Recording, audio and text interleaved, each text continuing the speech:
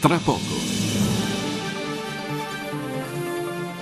Sul canale 17 di Fano TV, l'informazione locale.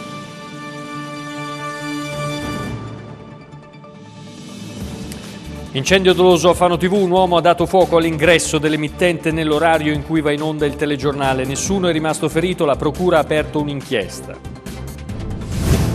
Tanti attestati di solidarietà per il vile atto incendiario che ha colpito l'informazione locale, moltissimi messaggi d'affetto e di vicinanza dei telespettatori, della politica e del mondo dell'informazione. Il TAR delle Marche ha riconosciuto ricevibile il eh, ricorso presentato dal Comitato Montemaggiore Resiste, fissata al 12 maggio l'udienza a distanza. 100 anni di storia nei cieli, nasce a Fano l'Aereo Club che si occuperà anche di protezione civile e operazioni di recupero e ricerca.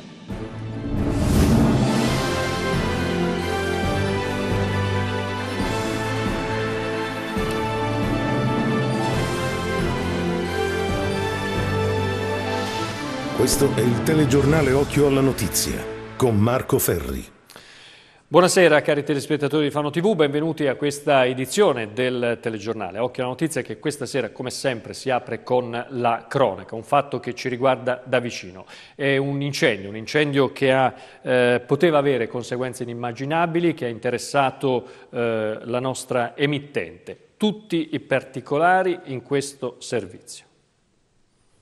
Il piromane arriva alle 20.53, ripreso dalla videocamera di sorveglianza posizionata all'ingresso dell'emittente. In mano ha una tanica di benzina. Con passo deciso va dritto verso il portone d'ingresso. Sa bene che a riprenderlo c'è una telecamera che registra ogni suo movimento. Per questo, quando è più vicino all'obiettivo, gli viene quasi distinto coprirsi il volto con una mano.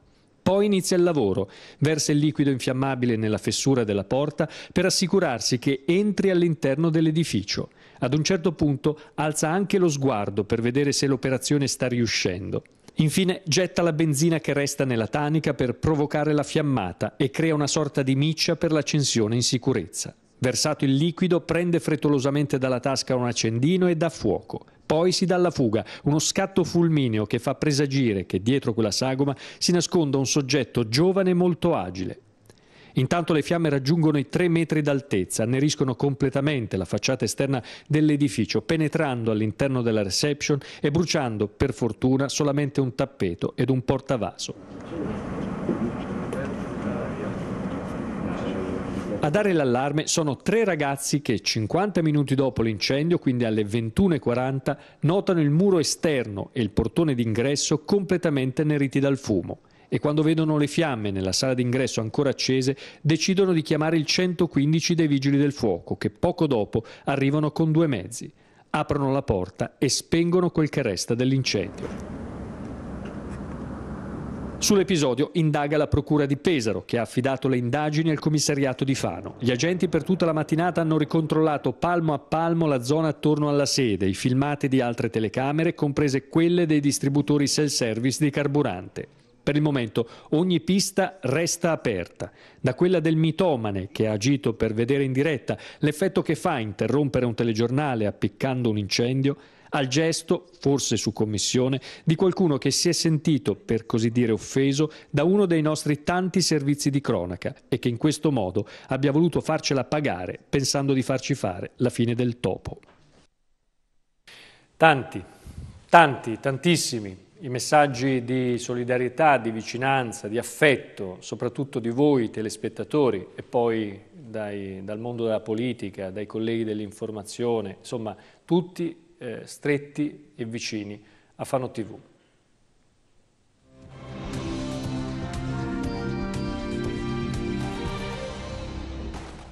Incendio doloso a Fano TV, un uomo ha dato fuoco all'ingresso dell'emittente televisiva, nessun ferito, la procura di Pesaro ha aperto un'inchiesta. Sgomento, indignazione e rabbia, ma anche sostegno e affetto. Ci sono tutte le gambe e le sfumature dei sentimenti che in una vicenda, come un atto così violento per il significato intrinseco che porta, possono essere contemplate. Rai 3 Marche titola nel sommario e riporta nel TG delle 13 ed in quello della sera quanto accaduto. Dopo la rassegna stampa di questa mattina il tentam mediatico su quanto accaduto a Fano TV ha attraversato anche i confini regionali ed è arrivato agli organi di stampa nazionali. Dall'onorevole Lara Ricciatti giunge in redazione prestissimo il suo messaggio di condanna con l'augurio che il responsabile venga presto assicurato alla giustizia. Il sito di Repubblica Online, edizione di Bologna, riporta l'episodio. Anche altre testate online riferiscono nelle aperture del mattino la vicenda dell'incappucciato piromane, compresa l'ANSA. Il Corriere Adriatico, il Carlino il Messaggero parlano di assalto incendiario, come anche i siti locali che oltre che riportare l'accaduto, attraverso le redazioni esprimono solidarietà all'emittente e come hanno fatto anche Vera TV e Onda Libera e i siti web locali. Quando avviene un atto di intimidazione come questo ad una emittente come Fano TV eh, che presta dal mio punto di vista, ma non soltanto dal mio, un servizio pubblico perché dà informazione e fra l'altro l'altro è un servizio molto apprezzato dalla città, sono atti che vanno condannati senza se e senza ma. Come sindaco mi sento molto vicino a Fano TV e quando dico Fano TV dico tutti, anche tutte le, le persone, penso di esprimere anche il pensiero dell'intera comunità di Fano. I sindaci del territorio da San Lorenzo in campo a Pergola hanno mandato messaggi per esprimere il loro sconcerto. Il vicepresidente del Consiglio regionale delle Marche, Renato Claudio Minardi, si è voluto accertare personalmente di quanto accaduto visitando la sede in via Borsellino e ha espresso solidarietà e rammarico per quanto accaduto a nome della Regione Marche, come ha fatto anche un altro consigliere regionale, Boris Rapa. Ma il mondo politico tutto ha espresso solidarietà a Fano TV con messaggi di profondo appoggio e condanna verso il responsabile di questo gesto. Le mail di redazione, i telefoni aziendali e personali di ognuno della redazione sono stati inondati di messaggi per tutta la giornata. Uno dei primi a giungere in redazione poco dopo le nove è quello dell'assessore Mascarin, come pure anche Cristian Fanesi, ma tutta la giunta e il Consiglio nell'arco della mattinata, dal centro-destra al centro-sinistra ai 5 Stelle, ha espresso un caloroso appoggio e tanta solidarietà alla redazione, con una locuzione che spicca su tutte quelle espresse, vile atto. Le associazioni locali anche mandano per voce dei loro rappresentanti appoggio e solidarietà, come l'Umpli per voce del suo presidente Damiano Bartocetti. Ma poi ci sono lungo il corso di tutta la giornata tutti i nostri telespettatori, tantissimi, che utilizzando ogni supporto immaginabile dai siti web ai social, Facebook e Twitter si sono dati un gran da fare ad esprimere tutto il loro sentimento, il calore e il supporto di questo lungo giorno dopo di Fano TV.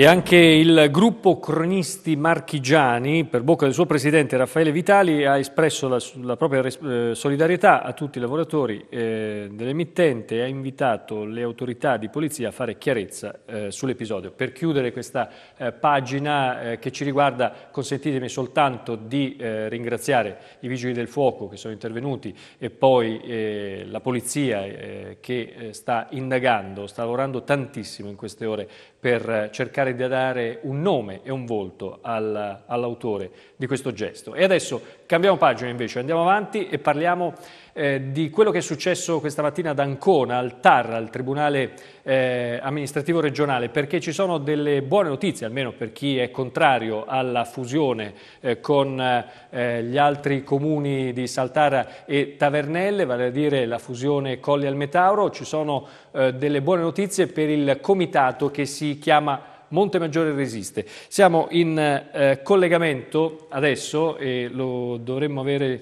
al telefono. Buonasera. Buonasera. Ecco, eh, con uno dei responsabili di questo comitato che immagino questa mattina è, ha partecipato ad Ancona a questo incontro. Allora, com'è andata e eh, ci spieghi un po' eh, com'è andata, come, che cosa succederà adesso, nei, nei prossimi giorni?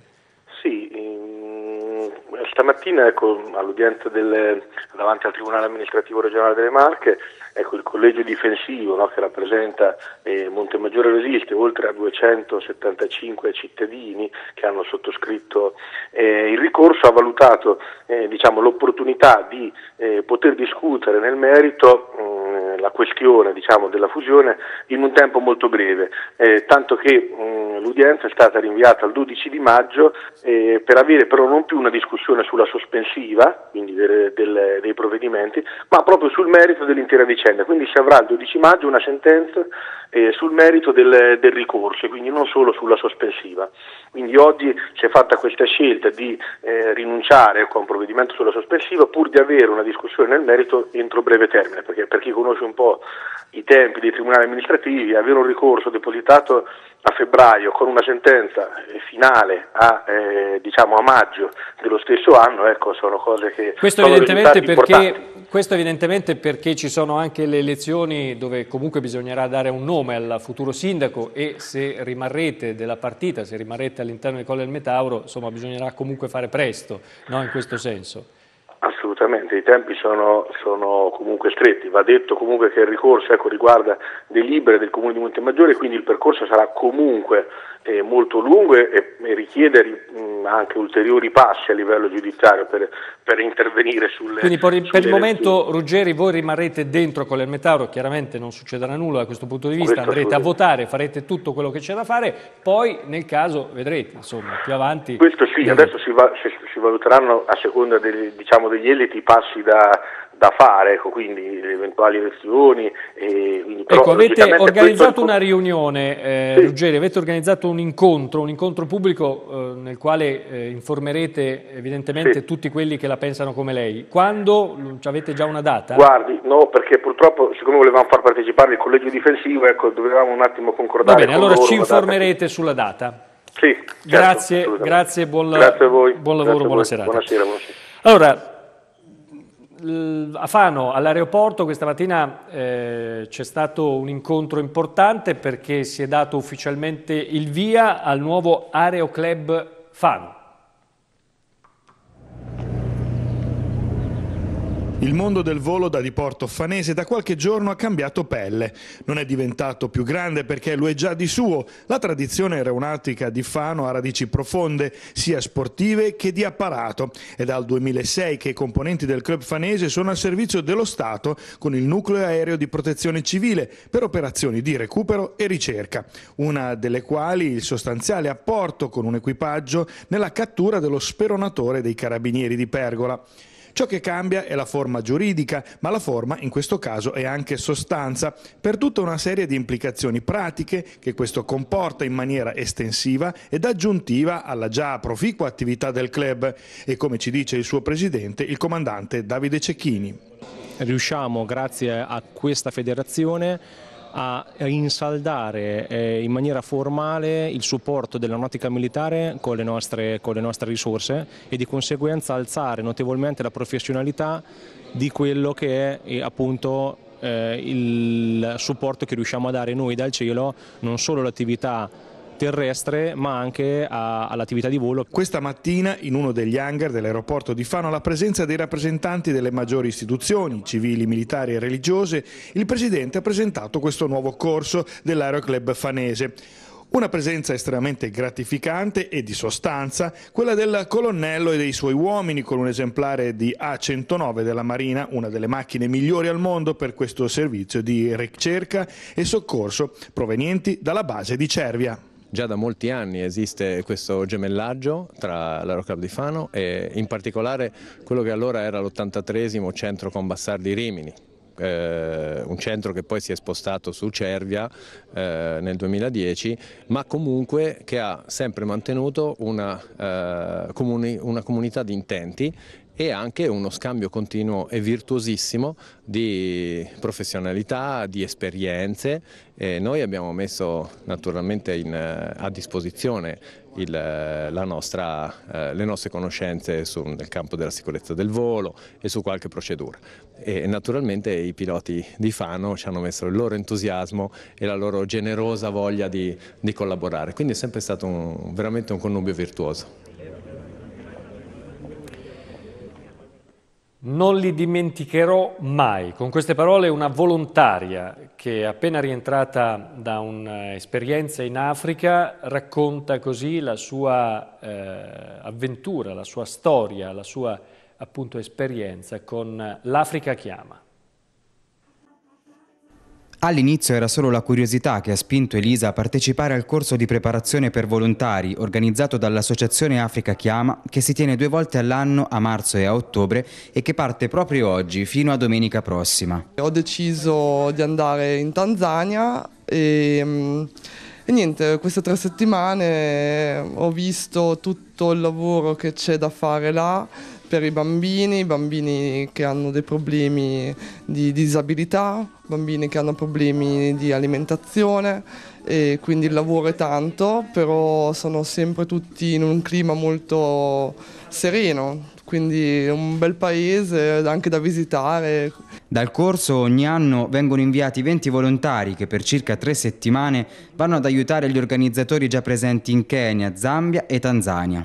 Io giocavo più che altro con bambini perché non ho competenze particolari nel settore, eh, però seguivo le operatrici che facevano fisioterapia ai bambini, eh, seguivo eh, appunto Paolo e Alessia nelle attività organizzative, guardavo ehm, anche solo eh, gli interventi dei fisioterapisti e dei terapisti nutrizionali eh, nel loro lavoro, più che altro ero lì per assimilare notizie da poi raccontare qua. allora, al mio ritorno da questa esperienza ho deciso che dovevo assolutamente organizzare qualcosa nell'immediato per aiutare il centro Sambamba del insomma, centro che ho visitato io. E quindi ho organizzato una cena il venerdì 31 eh, a Fano per raccogliere fondi da donare poi al centro Sambamba. Quindi chi è interessato a venire a questa cena, cucinerò io piatti africani, basta che contatta l'associazione e si prenota e vengono a cenare con noi, insomma facciamo un po' di festa africana. Per aiutare Elisa e l'associazione Africa Chiama nella realizzazione dei progetti e diventare quindi parte attiva di questa onlus è possibile devolvere il proprio 5 per 1000, compiendo una buona azione che non costa nulla.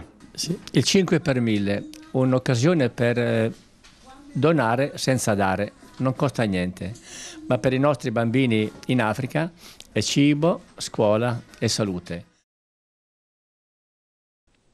E questo era il nostro ultimo servizio. Grazie per aver seguito il nostro telegiornale. Da tutti noi di Fano TV l'augurio di una buona serata. Arrivederci.